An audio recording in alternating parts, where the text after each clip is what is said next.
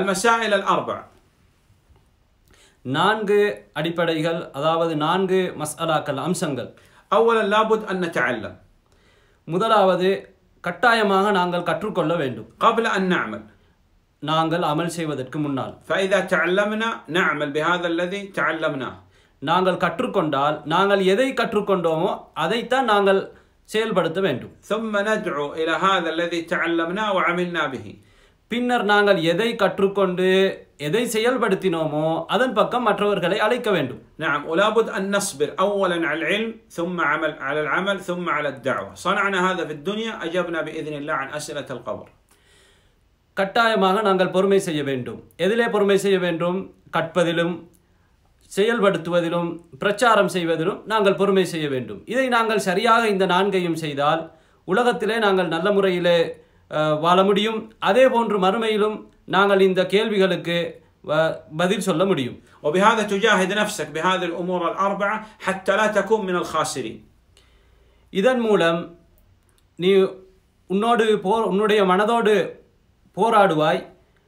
நீ நஷ்டவாளிகள் இல்லாமல் இருப்பதற்காக வேண்டி لأن الله سبحانه وتعالى أقسم في سورة العصر بأن الذي لا يأتي بهذه الأربعة هو من الخاسرين ولا أحد يريد الخسارة حتى من الكافرين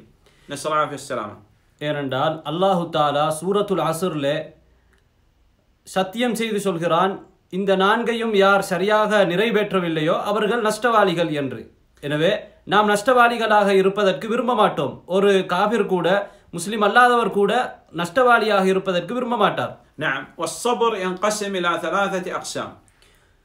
பொறுமையை பொறுத்தவரையிலே அதை மூன்றாக பிரிக்கலாம் صبر على طاعة الله حتى تؤدى نصبر على الصلاة الصيام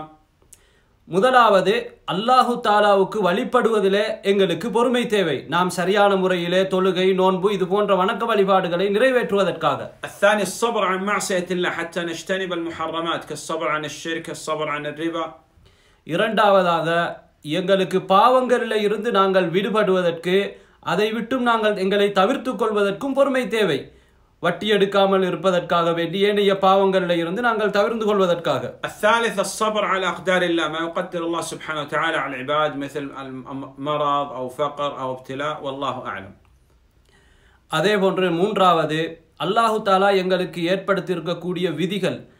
அதிலே நாங்கள் பொறுமையாக இருக்க வேண்டும் எங்களுக்கு நோய் துன்பம் கஷ்டங்கள் வறுமை இது போன்ற விடயங்கள் வரும் பொழுது நாங்கள் இந்த மாதிரியான விஷயங்களில் பொறுமையாக இருப்பது இது மூன்றாவது வகையான பொறுமை. அல்லாஹு தாலா மிகவும் அறிந்தவர்